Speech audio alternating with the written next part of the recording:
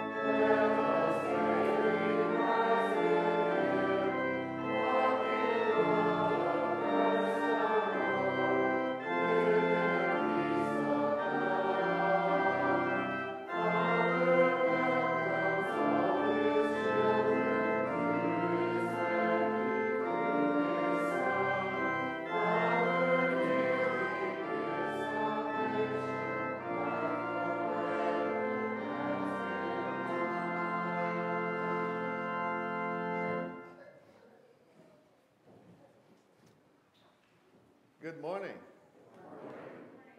May the peace of our Lord and Savior Jesus be with all of you. We welcome you in the name of Christ, uh, especially all of you who are visiting us today, also those who are worshiping with us on Facebook. What a wonderful day. Today we have a baptism. Reed Thomas Cooper is going to be baptized and be welcomed into God's family. So if you can, please stand so we can start our service. This is the third Sunday of Easter. We are celebrating Jesus' resurrection and life. We start today in the name of the Father and of the Son and of the Holy Spirit. Amen. Amen. Alleluia. Christ is risen. He is risen indeed. Hallelujah. Let us confess our sins unto God our Father. We have come to worship our great God. However, in our sinful condition, we cannot get near to Him. Let us confess our sins to God and one another.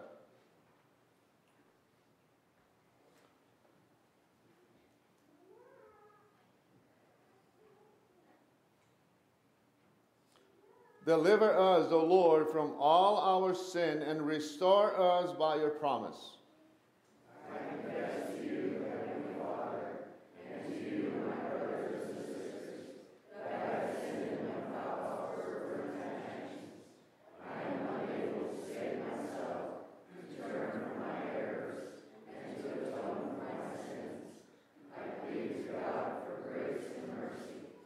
By the grace of God, there is one who is worthy to take our requests for forgiveness to God's throne of Christ of grace. Jesus Christ alone is worthy, for he is God's own Lamb and has ransomed us from our sins by dying for us and rising in glory.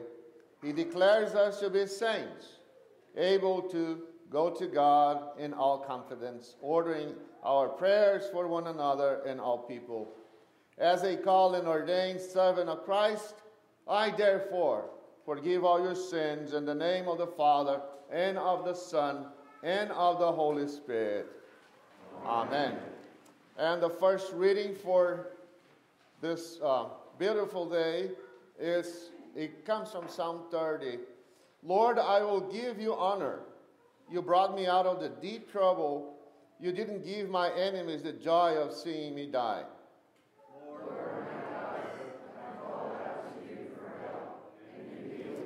Lord, you brought me up from the place of the dead. You kept me from going down into the pit. Sing the praises of the Lord. You are faithful to him. Praise him because his name is holy. You turned my loud crying into dancing. You removed my clothes of sadness and dressed me with joy.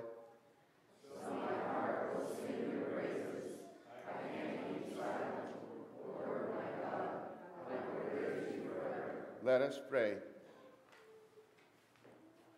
O God, through the humiliation of your Son, you raised up the fallen world. Grant to your faithful people, rescued from the, the peril or everlasting death, perpetual gladness and eternal joys. Through Jesus Christ, O Lord, who lives and reigns with you and the Holy Spirit, one God, now and forever. Amen. Amen.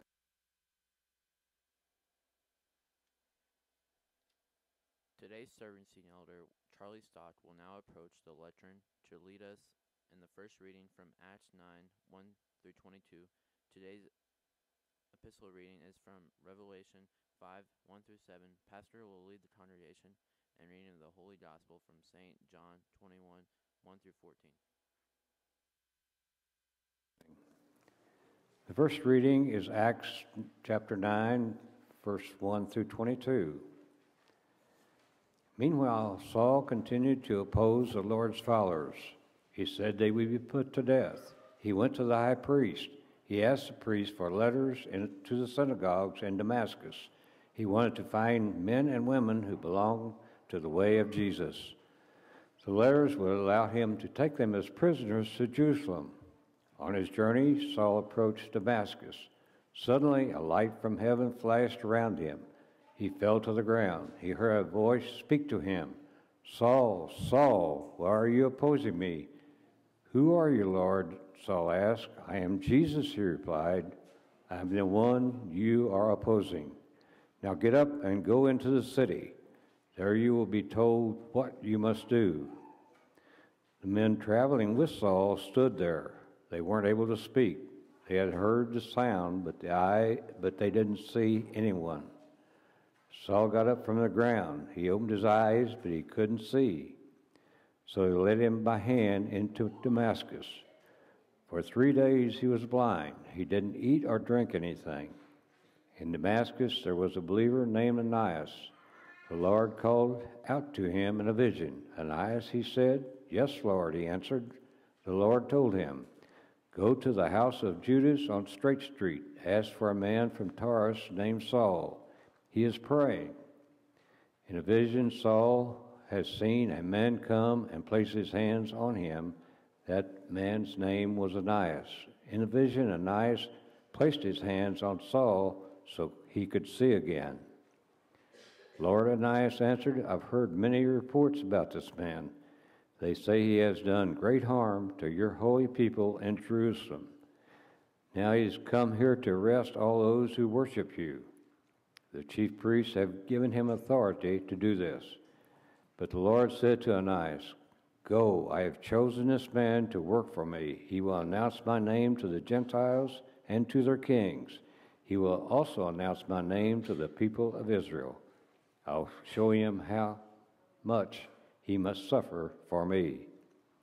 Then Ananias went to the house and entered it. He placed his hands on Saul. Brother Saul, he said, You saw the Lord Jesus. He appeared to you on the road as you were coming here. He has sent me so that you will be able to see again. You will be filled with the Holy Spirit. Right away, something like scales from, fell from Saul's eyes, and he could see again. He got up and was baptized. After eating some food, he got his strength back. Saul spent several days with the believers in Damascus. Right away, he began to preach in the synagogues. He taught that Jesus is the Son of God.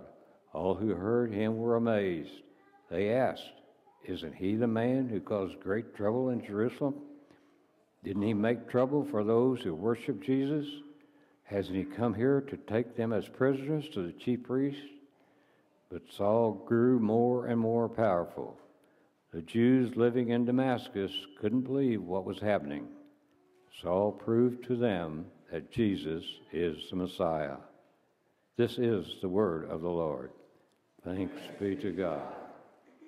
The epistle is from Revelations chapter 5, the first seven verses. Then I saw a scroll in the right hand of the one sitting on the throne. The scroll had writing on both sides. It was sealed with seven seals. I saw a mighty angel calling out in a loud, loud voice. He said, Who is worthy to break the seals and open the scroll? But no one in heaven or on earth or under the earth could open the scroll. No one could even look inside it. I cried and cried. That's because no one was found who was worthy to open the scrolls or look inside. Then one of the elders said to me, Do not cry. Do not cry. The lion of the tribe of Judah has won the battle. He is the root of David. He is able to break the seven seals and open the scroll. Then I saw a lamb that looked as if he had been put to death. He stood at the center of the area around the throne. The lamb was surrounded by the four living creatures and the elders. He had seven horns and seven eyes. The eyes stand for the seven spirits of God, which are sent out into all the earth. The Lamb went and took the scroll. He took it from the right hand of the one sitting on the throne. This is the word of the Lord. Thanks be to God.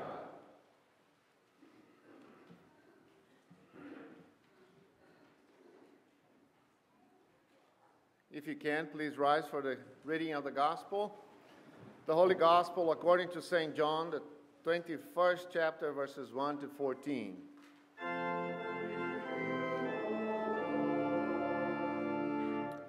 After this, Jesus appeared to his disciples again. It was by the Sea of Galilee. Here is what happened Simon Peter and Thomas, who was also called Didymus, were here together. Nathanael from Cana in Galilee and the sons of Zebedee were with them. So were two other disciples.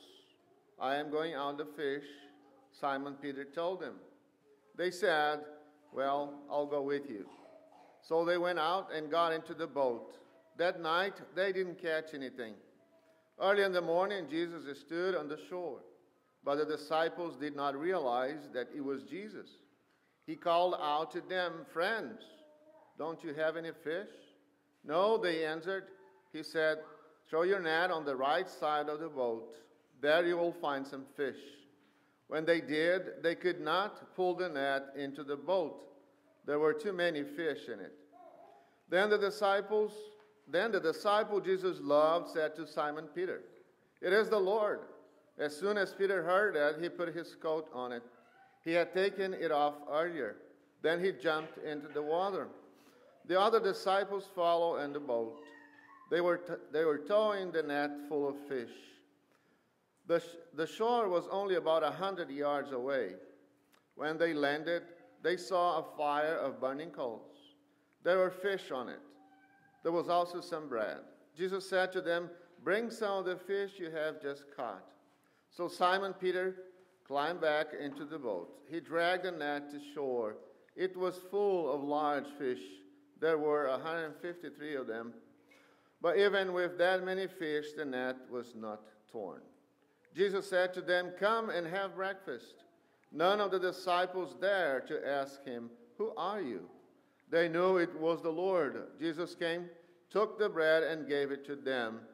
He did the same thing with the fish. This was the third time Jesus appeared to the disciples after he was raised from the dead. This is the gospel of the Lord.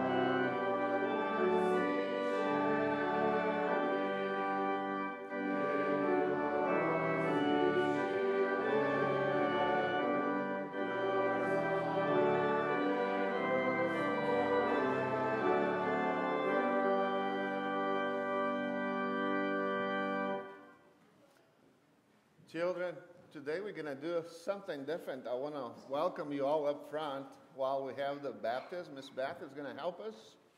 So please come. Godfather, Godmother, Thomas, are you ready, Thomas? Reed? Yeah, it's second. Thomas. Reed, Thomas, come over here. You can come closer. Just face the congregation, okay? All right, children. It's so nice to have all of you of you.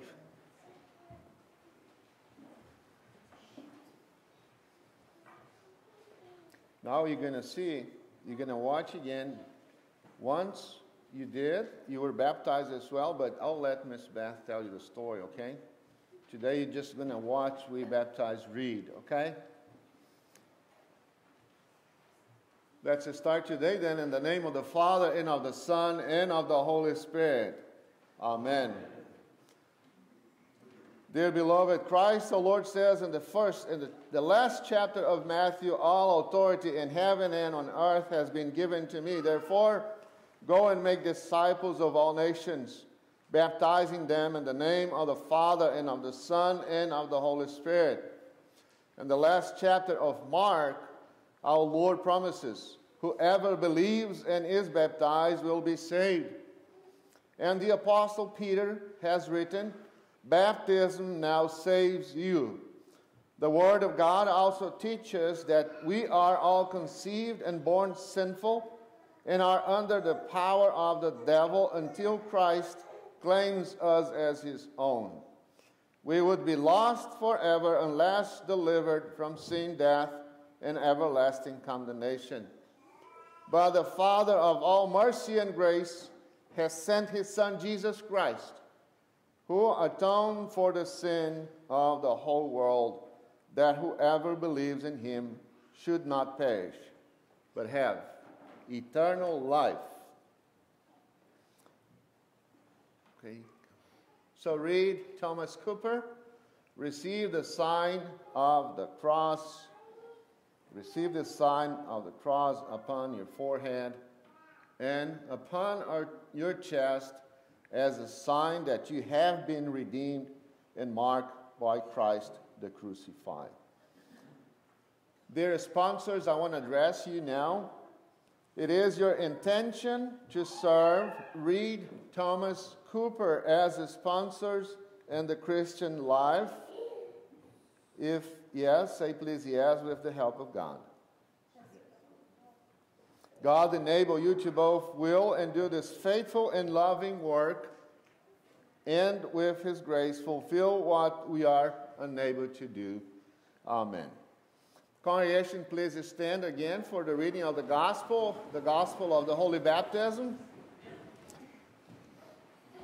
According to Mark chapter 10, people were bringing little children to him in order that he might touch them. And the disciples spoke sternly to them. But when Jesus saw this, he was indignant and said to them, Let the little children come to me, do not stop them, for it is to such as this that the kingdom of God belongs. Truly I tell you, whoever does not receive the kingdom of God as a little child will never enter it. And he took them up in his arms, laid his hands on them, and blessed them. This is the gospel of the Lord. I want to address Reed, and the whole congregation can answer with Reed and with mom and the sponsors. Reed Thomas Cooper, do you this day in the presence of God and all this congregation acknowledge the gift that God gave you in your baptism? Yes, Do you renounce the devil? Yes, I renounce. Do you renounce all his works? Yes, I renounce them. Do you renounce all his ways? Yes, I renounce them. Do you believe in God, the Father Almighty? Yes, I believe in God, the Father Almighty, maker of heaven and earth. Do you believe in Jesus Christ, his only Son, our Lord? Yes, I believe in Jesus Christ, his only Son, our Lord, who was conceived by the Holy Spirit, born of the Virgin Mary, suffered under Pontius Pilate, was crucified, died, and was buried. He Descended into hell. The third day he rose again from the dead. He ascended to heaven and sits at the right hand of God, the Father Almighty. From thence he'll come to judge the living and the dead. Do you believe in the Holy Spirit? Yes, I believe in the Holy Spirit, the holy Christian church, the communion of saints, the forgiveness of sins, the resurrection of the body, and the life everlasting. Amen. Let us pray. Dear Heavenly Father, you love us is so great. You chose us to be your children. You brought us into your holy family through your holy baptism. You thus gave us forgiveness of sins, life, and salvation. Help us to remember our baptism and bask in its blessings every day. Bless Reed Thomas Cooper as he is about to receive the holy sacrament of baptism and remind him you will be with him always with forgiveness, with your cross, and with the promises of eternal life. In Jesus' name, amen. The congregation may be seated.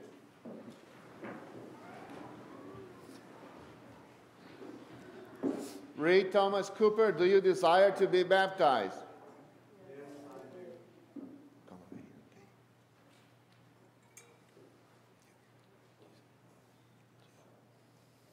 Reed Thomas Cooper, I baptize you in the name of the Father, in the name of the Son, and in the name of the Holy Spirit. Amen.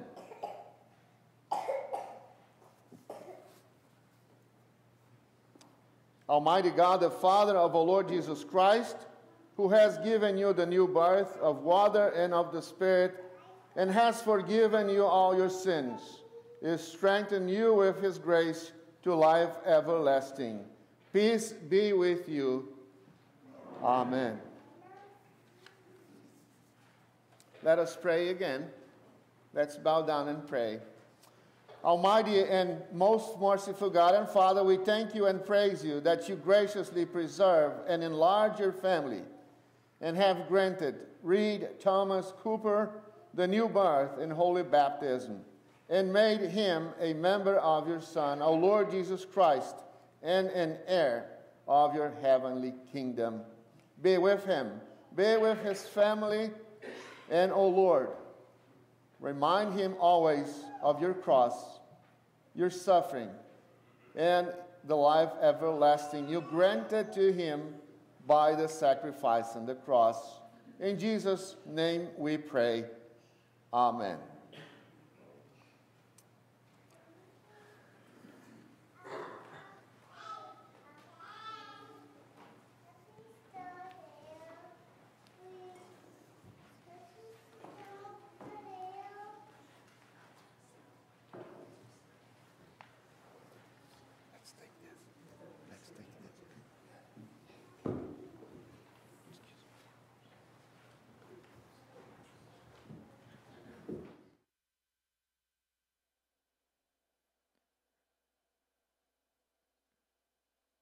Beth Youngmeyer comes forward to lead in the children's message. message. More that want to come up?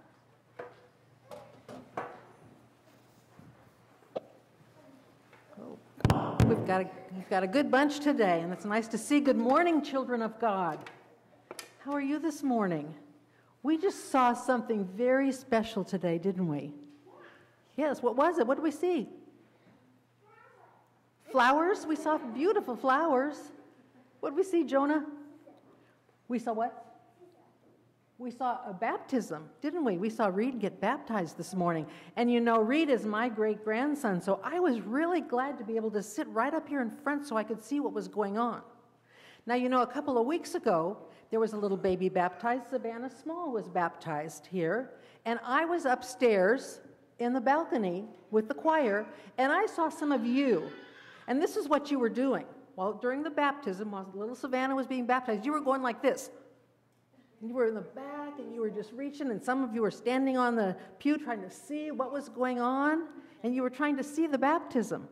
So, today, uh, so I asked Pastor Kopper if today, and I checked with Reed's family to see if it would be okay, if you could come up in front and you could see the baptism and see just what happens. So there are some people in the back today, they're way back there, and maybe they couldn't see the baptism today. So can you tell them what did Pastor do? Jonah's the only one, were you the only one who saw it, Jonah? Oh, oh now, oh, okay. What did Pastor do, Jonah? You had your hand up first. How did he do that? What did he do? A seashell. Oh, I didn't understand. He used a seashell. You saw that? I didn't know if anybody noticed that. He did something different today, and he used a seashell to put the water on Reed's forehead, didn't he? We're going to talk about that in a minute, Jonah. You were being very observant. So, did Reed look dirty to you today? Did you think Reed looked dirty? No, but we do use water if our hands get dirty. We clean our hands. Can you all show me how you'd clean your hands if your hands were dirty? Or you might have to wash your clothes when your clothes get dirty, or probably you don't have to, but I bet somebody at your house washes the clothes. Now, even when you look so nice and clean and you're all dressed up for church, we're still dirty inside because what's inside of us? There's sin inside of us. There are bad things that we do. And and we something special happens during baptism when the water reminds us how Jesus died on the cross to wash our sins away. So during the baptism, what did Pastor read from? From what? A book? What book does he read from?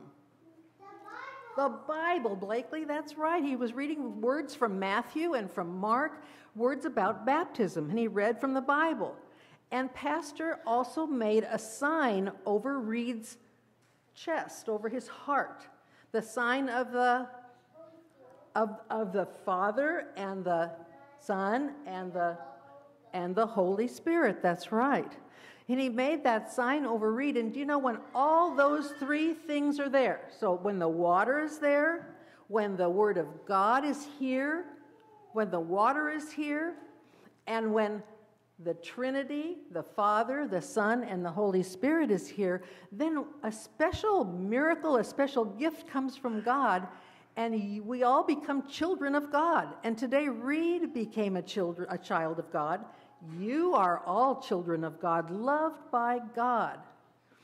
So when, um, when you look at all the people out here, they've been washed clean by baptism too, and our sins are forgiven, and we're all in God's family. Now, I have one more question for you, and that Jonah already answered, so let's see if you were listening. What did Pastor have in his hand when he baptized little Reed? a seashell, and it was very pretty. If you saw it, it's a silver seashell. I have one that's a real seashell here. It's the same shape, though, and inside, Kiefer, what does it say? You're right here. It says, Child of God. And I have a seashell for each of you that Will is going to give you in a little bit. Not quite yet, Will, but he's going to hand those out to you after we say our prayer. But first, I want to tell everybody about something that you all did last week. Those of you who are here for Kingdom Kids, the little kids talked to Miss Marie, and the older ones talked to me, and you told us what you know and what you believe about baptism. And we wrote those things down, and then I made them into a letter from you to give to Reed, a letter about baptism. We also have one for Savannah because we didn't have the letter done when Savannah was baptized. And Blakely, aren't you going to have a new baby at your house pretty soon, too? So we're going to have a letter ready for Blakely's new baby too. And you have a baby at your house too? Yeah. That's right. I think Jacob. Oh. Okay. Oh, I know. All right. Well, I wanted to show you my symbol of baptism. That's what a shell is, and that's why Pastor used it. It's a symbol of baptism, and each of you will get a shell to remind you of of the special gift that we have from baptism. And I'm going to give it to you right after we say our prayer. So let's do that now. And I want to tell everybody out here if you'd like to see the letter that the kids wrote, it's really very good. And there's an extra copy of it back on the table in the entryway, and you can take a look at it and read it too. So let's say our prayer. Let's all together, uh, we'll do an echo prayer today. So I'll say a little, then you say it, and we'll ask everybody else to help us too. Dear God thank you for the gift of baptism. You forgive our sins so that we can be your dear children. We are so glad that you love us. Be with Reed and Savannah so they learn about Jesus. In Jesus' name we pray. Amen. Okay. Now, uh, Sarah's going to give our, our um, letter to the, to the new babies, and Will's going to help here, and maybe Miss Marie. So if you'll quietly come by and you go back to, to sit with your parents and you can get your gift.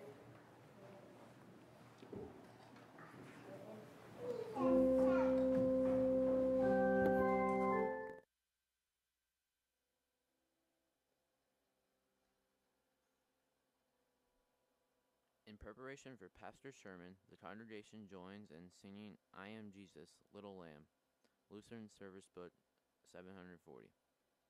Pastor Kopper's sermon message for today is titled Come Early in the Morning to Meet Jesus, based on today's gospel reading.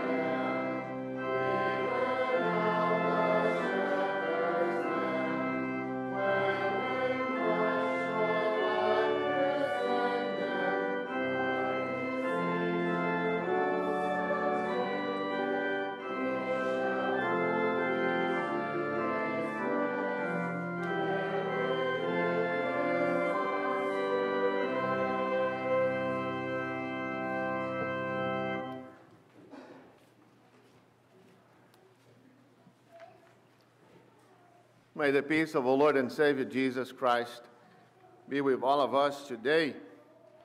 Wonderful, festive day as we baptized Reed Thomas Cooper, and also a day to celebrate resurrection of our Lord and Savior Jesus. You have heard the saying, early bird catches the worm. It's a well known saying we all use every once in a while. It is a motivational thing to say that if you wake up early in the morning, you'll probably see or get ready to work. Also, if you say that the early bird catches the worm, you mean that the person who arrives first in a place is most likely to get what they want. But besides work, there are many other things that are considered uh, a benefit to someone who wakes up early in the morning. A site dedicated to the well being of people says that if, if you got up early in the morning, you have the chance to spend more time with yourself, which is very helpful to you. And when you wake up in the morning, you have time for your devotions and to talk with God and many other things. It suggests that people are happier when they wake up early in the morning. You might not agree with me in that matter, but you will certainly agree with me when we read the gospel this morning and we see that it was early in the morning when the disciples saw Jesus and Jesus approached to them.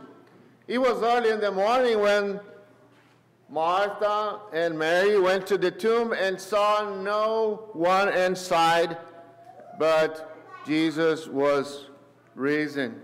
It was also early in the morning that other meaningful things happened in the Bible and God's people's lives, like Moses getting up in the morning, climbing the Mount Sinai to receive the Ten Commandments. Or maybe Joshua early in the morning leading Israel across the Jordan River. And we all know what it is across the Jordan River. It is the Holy Land promised to the Israelites. A lot of wonderful things happen early in the morning. I would say a lot of good and meaningful things took place in God's people's lives early in the morning. However, none of them can be, or maybe some can be compared to the one that happens in our reading of the gospel in John chapter 21. And I'll tell you why. It was early in the morning that Jesus gave the ultimate assurance and the ultimate hope about life to desperate and lost people who were so, whose life was so messed up, whose life was a little in disarranged as they went back fishing when they supposed to be fishing for men.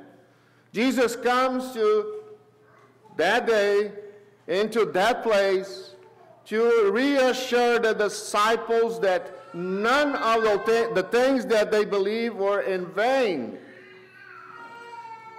Jesus shows up to the disciples to tell them, I am alive, I am the Christ, I am the winner, I am victorious over death. Don't be afraid. You're going to go back and continue the mission that God has started back in paradise when He promised the Savior, the Lord, who would annihilate death and bring life into the people again.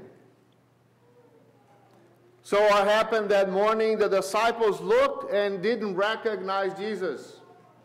Did Jesus lost some weight when he was in the tomb? He let his beard grow so they could not recognize him. What happened? What happened? As they look and they see, they are not sure if that was Jesus or not.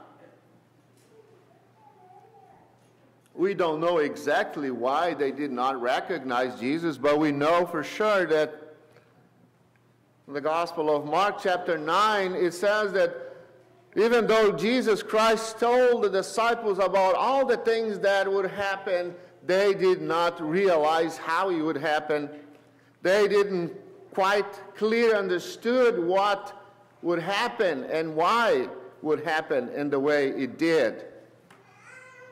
So here is Jesus, the same Jesus, appearing to them.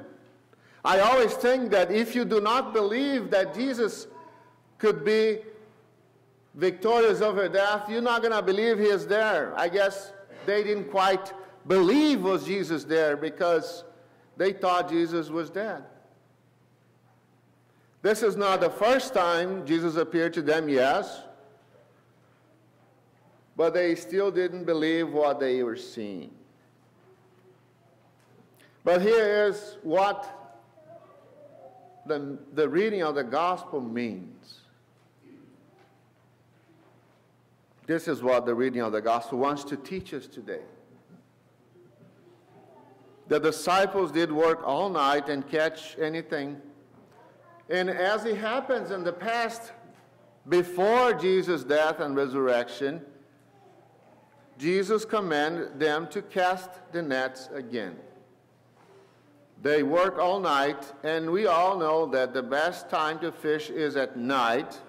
Well, at least if you have nets. I know there's a lot of fishermen in this congregation, so I'm not going to argue with you. I'm just, just telling what the Bible says. so Jesus said, cast the nets again. And it's not about fishing, at least it's not about fishing fish. It is about following Jesus' command. It's about to learn that when the word of the Lord is said, then you have to obey. Because obeying the, the word of the Lord brings you blessings to your life and to the life of others. So Jesus say, even though you have been working all night, even though you're tired, even though you don't maybe believe that this is the right thing to do, I am commanding you to do this and do it, and you'll see the blessings. So they do it, and they catch fish again. and they are all happy. And then Jesus cooked breakfast for them. If there is a lesson in this reading, I am going to repeat myself a little bit, but this is important. If there is a, a, a lesson in this reading, it is this obey Jesus' word. But one more thing besides that. It is this order over here, it's a kind of foreshadow of the other order that Jesus is going to do or going to give before he goes into heaven. He will say, Now you go and baptize everyone in the name of the Father, the Son, and the Holy Spirit. Obey it. And you will see the fruits of the kingdom. You will see the nets will be filled with, not with fish, but with men willing to serve the kingdom and to spread this wonderful news that Christ is not in the tomb, that Christ is not dead, that he is victorious, and he is in heaven preparing a place for us as we continue his mission on earth. Obey the word, obey the command, cast the nets and you will see the blessings.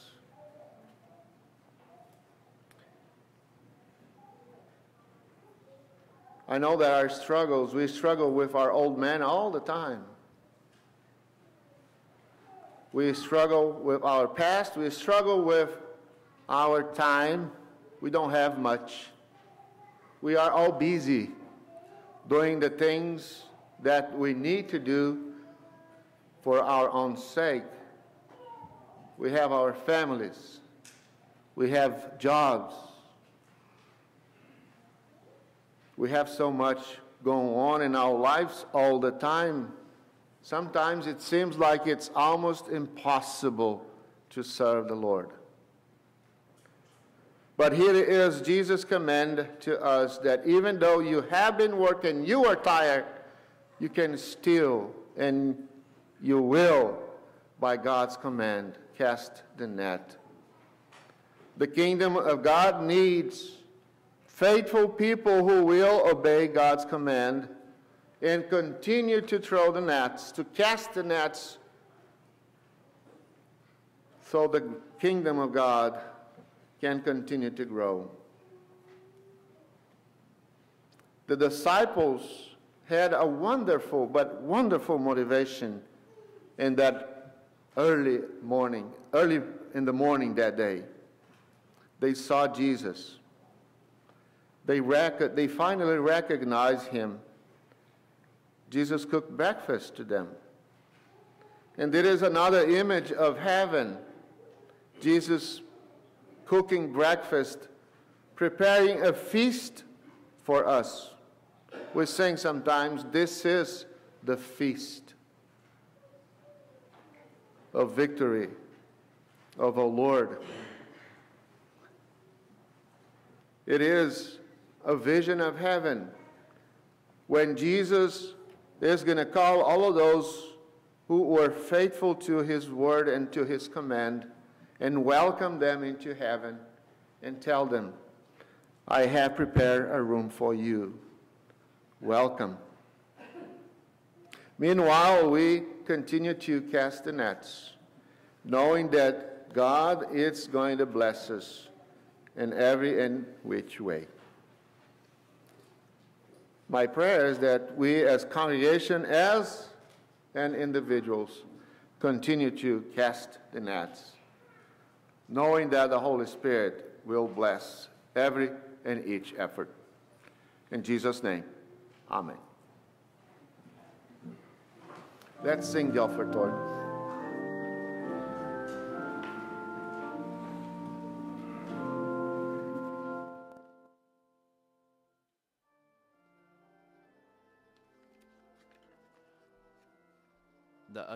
Will now approach the altar to receive the off- offering plates for distribution. You are listening to the Sunday. You are listening to the Sunday morning divine worship service from St. Paul Lutheran Church in California, Missouri, through the facilities of KRLL. Pastor Kopper has brought us a sermon titled Come Early in the Morning to Meet Jesus, or live stream. Our live stream di- di- director is Jason Youngmeyer. You may listen and watch our Sunday sermons at your leisure by visiting our website at St. Paul's Lutheran 1860.com. St. Paul's Congregation also offers you a daily devotional message on the telephone by calling 573 796 4754. A different message is recorded daily. We also invite you to listen to the worldwide message of the Lutheran Hour, broadcast on station KRLL at 7:30 a.m. each Sunday. Today's Lutheran Hour was sponsored by Mar- Marge Teaster. Each weekday morning at 6:15 a.m., the California Ministerial Alliance conducts a 5-minute devotional program on KRLL. We invite you to begin your day with these messages this week. Devotions are offered by Reverend Frank Hensley, pastor of the New Life Christian Church here in here in here in California, Missouri. The congregation sings the offertory found on the page 159 of the service book as the ushers bring the offering plates to the altar for the blessing. Then Pastor Kopper will lead us in prayers of the church, the Lord's Prayer, the blessing, and will offer the benediction.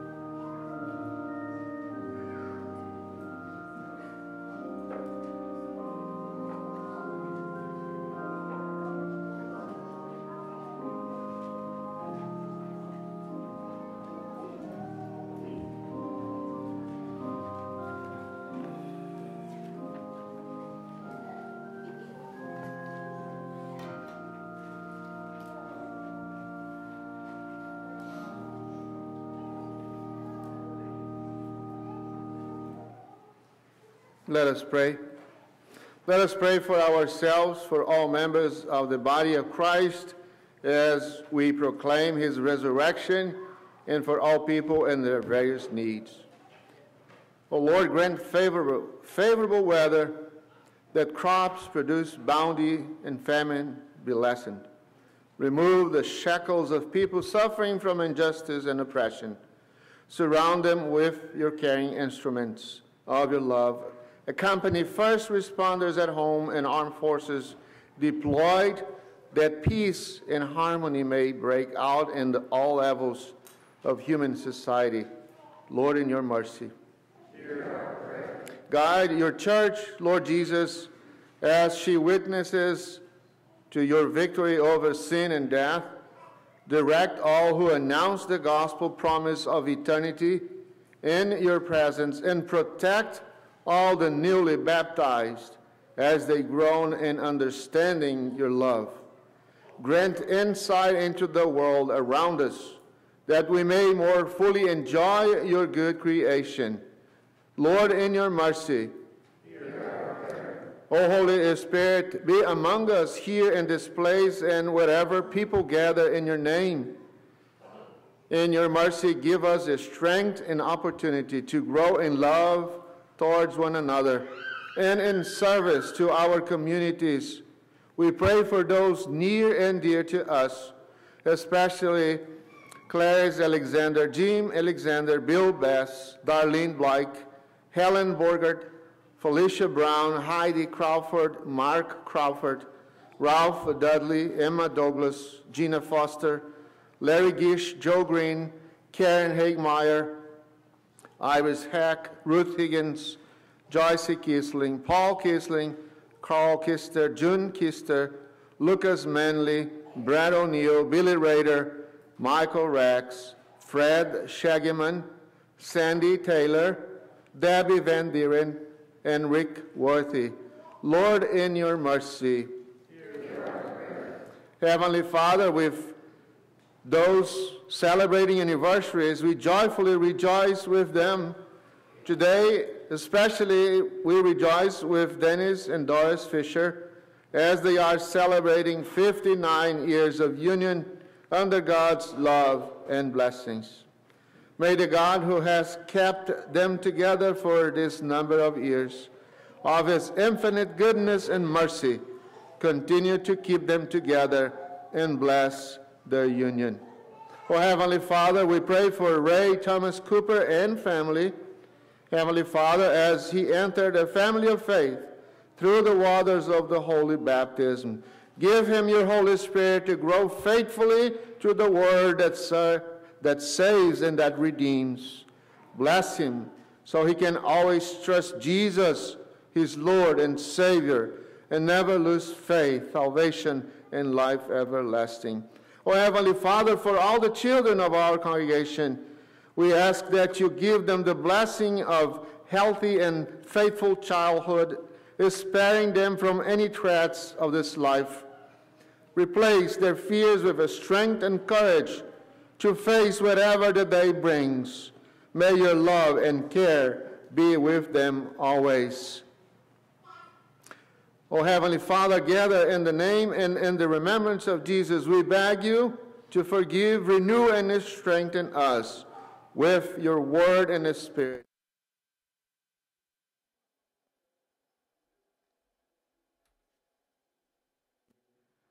Amen. If the congregation can, please service, stand so we can pray together the prayer our Lord and Savior Jesus taught us all to pray.